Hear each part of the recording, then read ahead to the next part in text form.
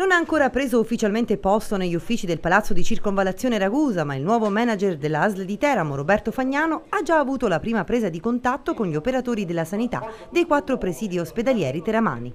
L'insediamento ufficiale dovrebbe esserci tra una settimana, intanto questa mattina soddisfazione è stata espressa da parte dello stesso Fagnano che si è detto pronto a raccogliere la sfida di risanare la sanità teramana. Io l'ho accolta con sorpresa e grande responsabilità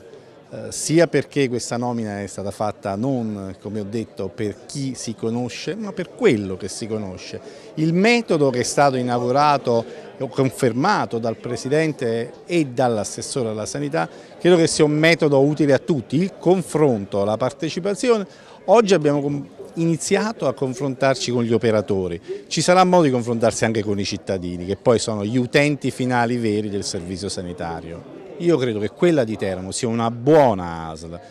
che eroga una buona sanità, è chiaro che può migliorare, ha una serie di limiti legati forse alla posizione territoriale, di cui forse è un po' vittima e proprio per questo e intendo anche un pochino per la mobilità passiva, almeno quello che si legge, ma l'erogazione di una migliore sanità alla fine ci consentirà anche di fronteggiare questo fenomeno che poi all'Abruzzo costa anche un pochino.